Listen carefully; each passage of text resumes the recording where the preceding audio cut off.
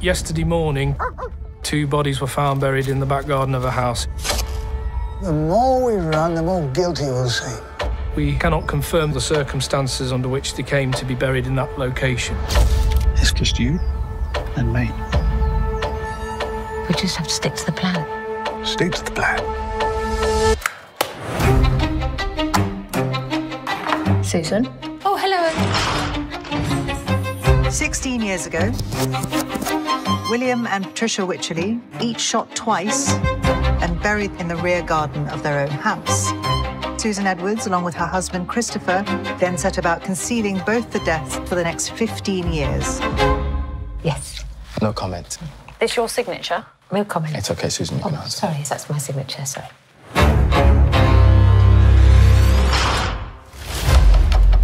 Try to confuse you, but don't let them. I wonder if we could try something. Mess with the heads a bit. You remember, you're in charge. Your husband's opted not to take legal advice.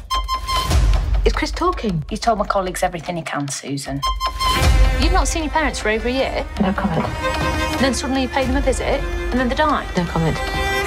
This doesn't paint a very pretty picture, does it?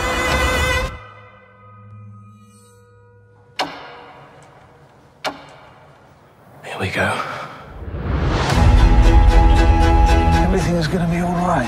Just needs a little bit of clearing up, that's all. Oh, Chris, what is he doing? I have to stand up for my wife. Susan could never have killed. That is impossible. This is the truth. You have to believe it. Some people are beyond help, aren't they? Nobody's beyond help in this world. That's the whole point of this world.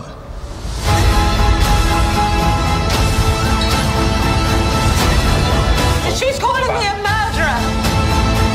It's not what it seems. It didn't happen like this. The whole lot of you are liars!